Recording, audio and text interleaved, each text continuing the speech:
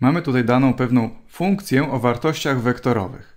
No przypominam, co to jest funkcja o wartościach wektorowych. To jest taka funkcja, że jak dasz jej argument, jakiś, jakąś wartość t, to ona zwraca nie pojedynczą liczbę, a zwraca wektor. Wartościami tej funkcji są wektory. W tym wypadku to jest wektor na płaszczyźnie, czyli taki wektor, który ma dwie składowe. Oczywiście są różne sposoby zapisywania takich wektorów na płaszczyźnie. Jest też na przykład inna notacja niż ta, która tutaj jest, taka inżynierska. Tutaj mamy po prostu obie te składowe, obie współrzędne w nawiasie oddzielone przecinkiem, ale jest też taka notacja inżynierska, że mamy na przykład tutaj pierwsza składowa minus t do piątej odjąć 6 w tym wypadku, razy wektor jednostkowy w kierunku osi x, tak oznaczany, do tego dodać druga składowa, w tym wypadku 4 t do czwartej dodać 2t dodać 1 razy wektor jednostkowy w kierunku osi y. I to jest inny zapis tego samego. Możecie się spotkać z takim albo z takim.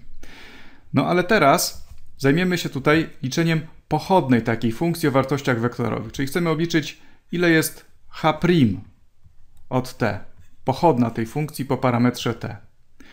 No i różniczkuje się to po prostu w ten sposób, że się liczy pochodną każdej składowej niezależnie, każdej składowej oddzielnie. Czyli tutaj, żeby liczyć pierwszą składową tej pochodnej, no to obliczymy pochodną pierwszej składowej. Czyli tutaj zadziałamy różniczkowaniem na tę pierwszą składową.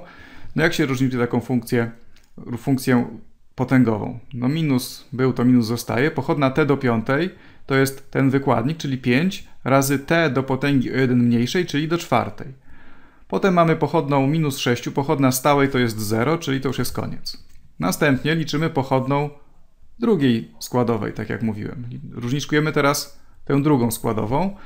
No i tutaj mamy znowu funkcje potęgowe. Tutaj mamy pochodną t do czwartej. To będzie 4 razy t do potęgi o 1 mniejszej, czyli do trzeciej. No ale tutaj jeszcze jest czwórka przed wszystkim, czyli 4 się pomnoży przez 4 i to będzie 16t do trzeciej.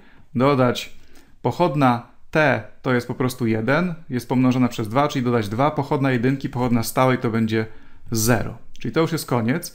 Gdyby h było położeniem, to a t było czasem, to pochodna h' od t to byłaby prędkość. Czyli gdyby to było położenie, zależność położenia od czasu, to tutaj byśmy mieli zależność prędkości od czasu. No i możemy obliczyć jeszcze na przykład drugą pochodną, to w tej interpretacji fizycznej byłoby to przyspieszenie, tak? No to znowu różniczkujemy po prostu każdą z tych składowych oddzielnie, żeby obliczyć ten wynik. No i teraz tak, pochodna tego pierwszego, pochodna t do czwartej to jest 4 razy t do trzeciej, minus 5 razy 4 to będzie minus 20 razy t do trzeciej. Pochodna t do trzeciej, które tutaj występuje, to jest 3 razy t do kwadratu. Jeszcze trzeba pomnożyć przez 16. 16 razy 3 to jest 48 razy t do potęgi drugiej, no a pochodna dwójki to jest 0, no więc to już jest koniec.